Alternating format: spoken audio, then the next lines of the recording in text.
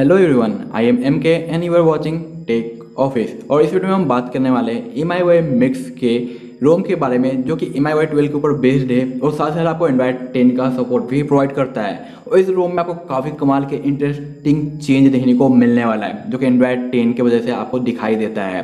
तो वीडियो को full and तक वॉच करते रहें, क्योंकि यहाँ पर मैं आपको बहुत सारी चीज़ें दिखाने वाला हूँ, जो कि आप है जो काफ़ी टाइम से वेट कर रहे थे कि हमारे रेडमी के नोट फाइव प्रो को कब देखने को मिलेगा।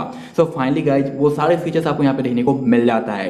तो सबसे पहले बात करते हैं मॉडल से, जो कि आपको रेडमी का नोट फाइव प्रो देखने को मिलता है, जिसका कोड नेम वाई रेड है। वहीं पे आपको जो देखने को मिलता है बाकी एस्पेक्ट्स और एंड्रॉइड वर्जन आपको यहाँ पे टेन देखने को मिल जाता है। तो टेन तो ऑफिशियल हमें मिला नहीं है बट इस पोर्ट रूम की सहायता से आपको मिल जाता है, जिसका फुल बेनिफिट ले पाओगे। सिक्योरिटी पैच हमें यहाँ पे two thousand twenty four five का देखने को मिलता है, जो कि वन मंथ ओल्ड है बट चलेगा। वहीं पे ये जो एम का वर्जन है, वो है मिक्स की ओर से, जो कि 20.4.27 बीटा वर्जन है। वहीं पे आपको स्टैंडर्ड का केडल देखने को मिल जाता है। यहाँ पे आपको एम आई का लोगो देखने को मिलता है, और एम आई वाले सारे फीचर्स देखने को मिल जाते हैं। और यहाँ पे थोड़े बहुत अलग एडवांस फीचर्स भी आपको मिलते हैं, जो कि रियल में पसंद आने वाला है। जैसे कि हमारा ग्लोबल डार्क मोड जो कि अभी तक हमारा ग्लोबल डार्क मोड जो कि अभी तक हमें देखने को नहीं मिला था एंड्रॉयड 9 की वजह से। बट एंड्रॉयड 10 के पोर्ट के आने के बाद आपको इंडिविजुअल ऐप का भी ऑप्शन देखने को मिल जाता है और यहाँ पे ऑटोमेटिक कॉन्ट्रास्ट ऑटोमेटिक एडजस्ट का भी ऑप्शन मिलता है, जो कि हमारा डार्क मोड 2.0 है। तो ये परफेक्टली बेनिफिट आपको मिल जाता है इस एंड्रॉयड टेन के वजह से। वहीं पे हम आते हैं स्टेटस बार के ऑप्शन पे। तो ये सारे ऑप्शन जो कि हमें यू में मिलता है एमआईवाई मिक्स की ओर से मिल जाता है, वो सारी चीज़ें देखने को मिल जाता है। यूज़ कंट्रोल सेंटर का भी ऑप्शन आपको मिलता है। अगर आपको एम आई वाई इलेवन का क्यू एस पैनल यूज़ करना है तो आप उसे इनेबल कर सकते हो। या फिर आप है जो यहाँ पे एम आई वाई ट्वेल्व का कंट्रोल सेंटर और नोटिफिकेशन पैनल भी इनेबल कर सकते हो। वहीं पे आपको देखने को मिलते हैं बैटरी के लेआउट्स वगैरह और लुक कैसा होना चाहिए कॉम्पैक्ट वगैरह, वो भी आप कंट्रोल यहाँ पे कर पाओगे। वहीं पे आगे आते हैं बैक की साइड पे। तो आपको देखने को मिल जाता है यहाँ पे वॉल्यूम एंड वाइब्रेट का फीचर जहाँ पे आप वीडियो कॉल का एक छोटा सा क्लिप अपने इनकमिंग कॉल के लिए सेट कर सकते हो, जो कि प्रॉपर तरीके से काम करता है। यहाँ पे जितने भी साउंड इफ़ेक्ट है, वो आप फुल बेनिफिट ले सकते हो, कोई भी इशूज नहीं आता है तो ये काम करता है। एडिशनल के अंदर वही सारे ऑप्शन जो कि यू में प्रोवाइड किया गया है, वो मिल जाता है। एंड्रॉयड टेन होने की वजह से आपको एक और प्लस पॉइंट मिल जाता है, वो हमारा फुल स्क्रीन डिस्प्ले और साथ साथ एंड्रॉयड टेन का नेप बार का पेल्स जो कि आप फुल्ली यूज़ कर सकते हो। तो ये परफेक्टली काम करता है। आपको इसे हाइड करना है तो ये भी आप हाइड कर सकते हो और फुल व्यू स्क्रीन का बेनिफिट आप ले सकते हो। यहाँ पे आपको ऑन स्क्रीन बटन यूज़ करना है तो वो भी आप यहाँ पे यूज़ कर सकते हो। तो ये डिपेंड करता है आपके बेसिक यूज़ के ऊपर कि आपको क्या रखना है। वहीं पे किक बॉल में आपको न्यू एनिमेशन देखने को मिलता है, अगर आप यहाँ पे इनेबल करते हो तो आपको एंड्रॉइड टेन के ऊपर जो एनिमेशन प्रोवाइड किया गया था, वो आपको यहाँ पे देखने को मिल जाता है, जो कि मुझे भाई सही लगा। वहीं पे आई कराते हैं बैटरी की ओर तो जितना भी मैंने यूज़ किया है, उसके हिसाब से मुझे बैटरी सही लगा है। तो बैटरी में मुझे कोई भी कमी दिखाई नहीं दिया है। प्राइवेसी प्रोटेक्शन तो मैंने आपको पहले ही बता दिया किस तरीके से काम करता है तो दोबारा एक्सप्लेन करने की ज़रूरत नहीं है।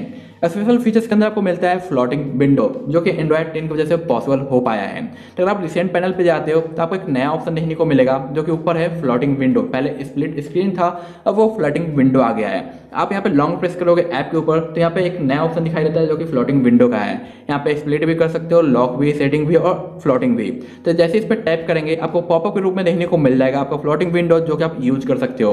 और इसे कहीं पर भी मूव हम कर सकते हैं इजिली और इसे स्मॉल करने के लिए बस कॉर्नर पर जाना है, उसके बाद यह स्मॉल हो जाएगा। और स्क्रीन के ऊपर आप जैसा चाहो वैसा है, जो रिमूव कर सकते हो और हटाने के लिए बस कॉर्नर पे ले जाके पुल कर देना है। ये हट जाएगा।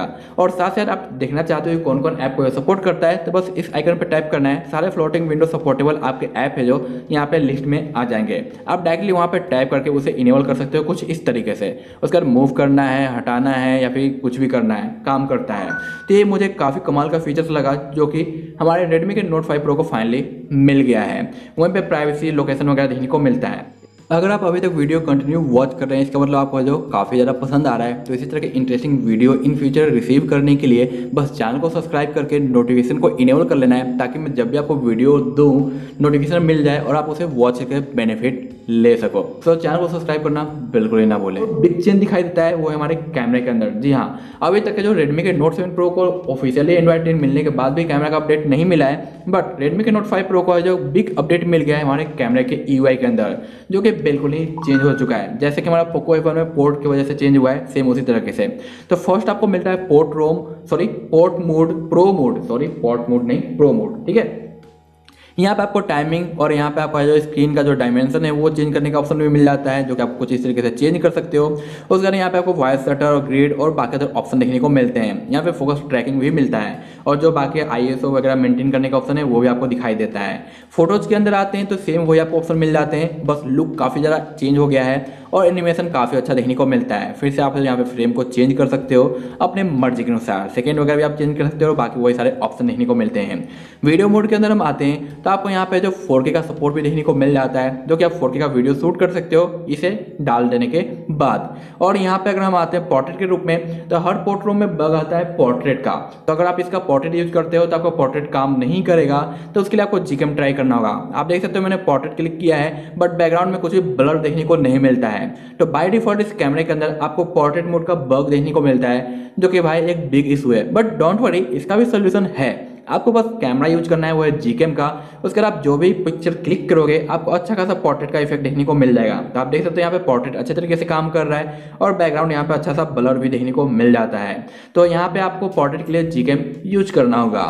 वहीं पे अगर हम मोर पे आते हैं तो आपको यहाँ पे एक्स्ट्रा जो ऑप्शन है टाइम लैब वगैरह पेनोरमा वो भी देखने को मिलता है। आप इसे एडिट करके कई सारे ऑप्शन को और यहाँ पे ला सकते हो लाइन के रूप में।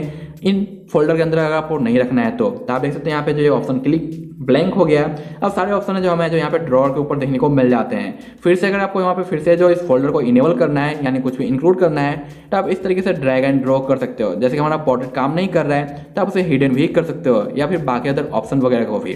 तो इस तरीके से आप इसमें चेंज में जो कर पाओगे। तो ये जो ई है, मुझे रियली में काफ़ी ज़्यादा पसंद आया, जो कि यहाँ पे देखने को हमें मिल जाता है। अब बात आती है इसके परफॉर्मेंस की। भाई पोर्ट रोम है तो क्या परफॉर्मेंस अच्छा है या फिर खराब है? तो यहाँ पे जो अंटू का स्कोर है, वो काफ़ी सिमिलर है, बाकी अदर कस्टम रोम जैसा, जो कि one three nine two zero two का है, जो कि रियल में काफ़ी बेटर लगा है। और बाय डिफ़ॉल्ट आप जियो से वीडियो कॉल भी कर सकते हो तो वीडियो कॉल का कोई भी इशू नहीं आता है। बाय डिफ़ॉल्ट ये आपको रूटेड मिलता है, लेकिन यहाँ पे आपका नेट सेफ्टी भी पास रहेगा तो आपको रूट होने का टेंशन लेने की ज़रूरत नहीं है, आप बैंकिंग ऐप वगैरह यूज़ कर पाओगे, क्योंकि प्ले स्टोर भी हमारा जो सर्टिफाइड देखने को मिलता है। वहाँ जो बाय डिफ़ॉल्ट म्यूज़िक प्लेयर है, इसमें यूट्यूब का सपोर्ट मिलता है, यानी आप बैकग्राउंड म्यूज़िक वगैरह प्ले कर सकते हो। गैलरी भी बिल्कुल ही लेटेस्ट एम आई का देखने को मिलता है, जो कि आप जो फुल बेनिफिट इसका भी ले सकते हो। हमारा जो थीम स्टोर भी बिल्कुल ही लेटेस्ट अपडेटेड है, और बहुत सारे थीम यहाँ पे मैं ऑलरेडी डाउनलोड कर रखा हूँ, जो कि एम आई को सपोर्ट करता है, और इसके ऊपर मैंने एक डेडिकेटेड वीडियो भी दिया था। अगर आप नहीं वॉच किया तो वॉच करके अपने एम आई के ऊपर एम आई के थीम को अप्लाई भी कर सकते हो। तो यहाँ पे मैंने आपको कंप्लीट पैकेज दे दिया है बट रही बात फ्लैशिंग मैथड कि कैसे फ्लैश करना है तो मैं आपको एक आई बटन में वीडियो मेंटेन कर रहा हूँ, उसे आप फॉलोअप करके इसे इजिली फ्लैश कर पाओगे, क्योंकि उस वीडियो में मैंने आपको बताया है कि एंड्रॉयड टेन के मी वाई को कैसे फ्लैश करना है? तो सेम स्टेप्स आपको फॉलो करना होगा। आई बटन और डिस्क्रिप्शन में देखने को मिल जाएगा। तो गाइज़ आज के लिए इतना ही। उम्मीद करता हूँ कि आपको वीडियो पसंद आई होगी। तो इसी तरह के इंटरेस्टिंग वीडियो के लिए चैनल को सब्सक्राइब वीडियो को लाइक और दोस्तों के साथ शेयर करना बिल्कुल ही ना भूलें। तब तक के लिए बाय बाय